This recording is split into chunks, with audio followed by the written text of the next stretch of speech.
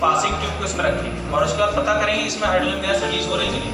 इसमें पानी रखेंगे उसके बाद यहाँ से बबल्स आपको दिखेगा। ठीक है? तो हम लोग क्या करेंगे सबसे पहले? इसमें भरेंगे हाइड्रोजन गैस और सल्फ्यूरिक एसिड नीचे एसिड तो ये है कंसनट्रेटेड सल्फ्यूरिक एसिड ठीक है? सबसे पहले क्या करेंगे इसका थोड़ा सा अमाउंट लेना है हम लोग को।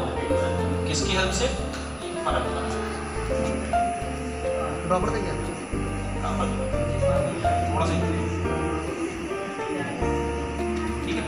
कंसनट्रेटेड सल्फ्यूरिक एसिड को जो है बहुत आसानी से धीरे धीरे थोड़ा सा निकाल इतना सा पीछे ठीक अब इसका इसको बंद करके रख देना है। उसके बाद क्या करेंगे? हम इसमें थोड़ा सा पानी ले लेंगे।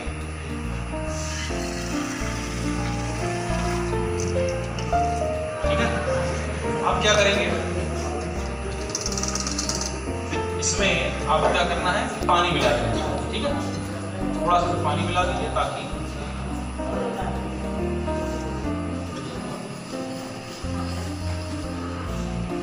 पानी मिला दिए अब इसके बाद क्या करना है?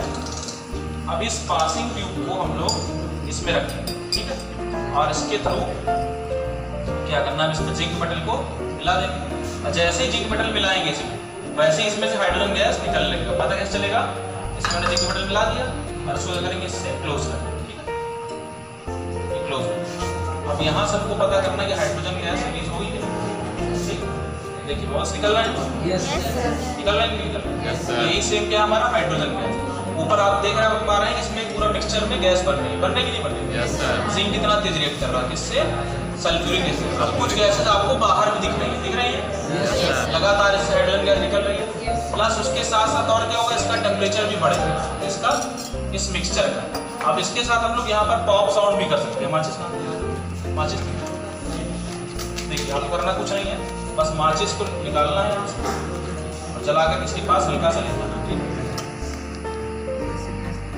थोड़ा दूर रखिएगा माचिस बहुत ज़्यादा सर इस वजह के सामने सर जाता सामने हट जाओ बगल से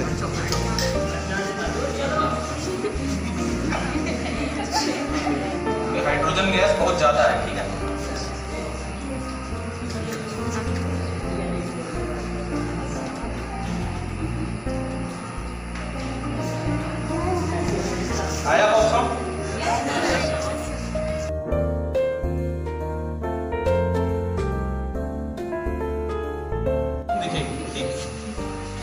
डायरेक्ट हीट करना है कोई भी पानी वानी नहीं चलाना है।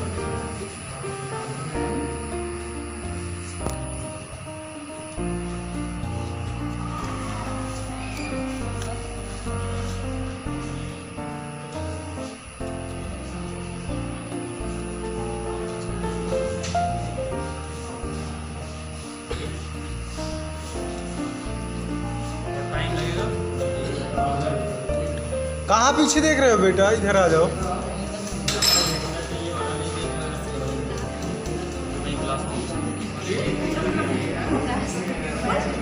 धीरे धीरे से ब्राउन गैस बन रही है।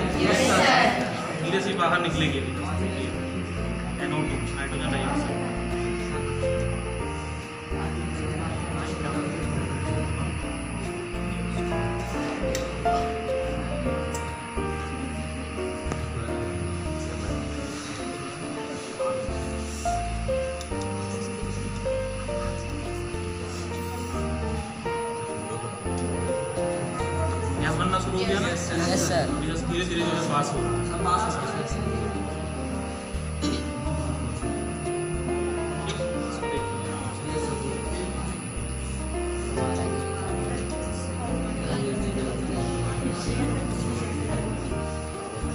इससे गैस इसलिए नहीं निकल पा रही इसमें वाटर है, ठीक है?